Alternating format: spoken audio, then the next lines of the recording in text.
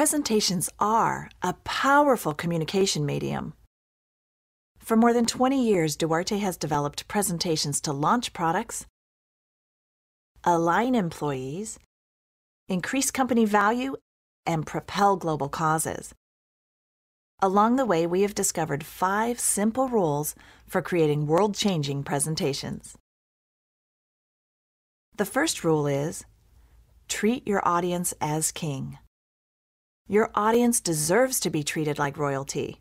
Design a presentation that meets their needs and not just yours. Audiences want to know what you can do for them, why they should adopt your view, and what are the steps they need to follow to take action. Give them those things in a clear, easily understandable way, and you will undoubtedly find favor with the king. The second rule is spread ideas and move people. Your audience didn't show up to read your 60 page on screen dissertation. They are there to see you, to be inspired by your message, and witness the quality of your thought.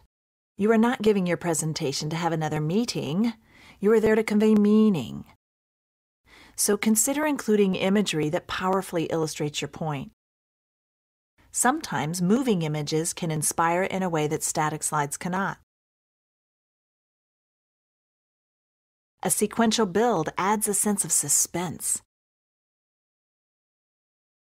And a thought provoking video moves your audience in a way that can not only change minds, but hearts. The next rule is help them see what you're saying. Half of the people in your audience are verbal thinkers, and the other half are visual. Combining minimal text with meaningful visuals means that you will reach everyone. Brainstorm graphics that will effectively communicate your message and then replace those words with a picture, a chart, or a diagram. Then apply a consistent treatment to your graphics to give your whole presentation a unified look so that your audience is attracted to rather than distracted from your message. Rule number four practice design, not decoration. As tempting as it is to fill your slides with stuff, often de decorating is the best policy. Any writer or designer will tell you that 90% of the creative process is destructive. Do you have one main point? Consider putting just one word on the slide by itself. You want them to remember a few items? Then don't show everything at once. Instead, show one item at a time. Do you have a picture that accurately expresses your idea? Scale that picture so it fills the slide. Do you know a quote that says it all? Then let it say it and remove everything else.